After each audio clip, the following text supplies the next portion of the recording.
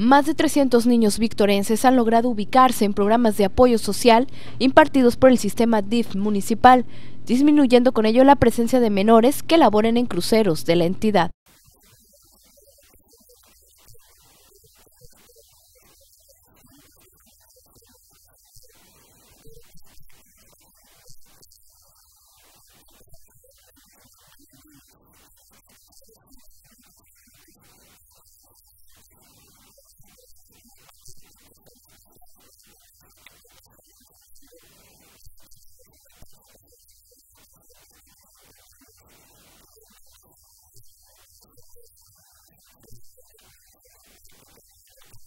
El director del Sistema de Desarrollo Integral de la capital, César Saavedra, dijo que los programas están basados en aplicar talleres, cursos y pláticas a familiares para lograr una integración entre padres e hijos.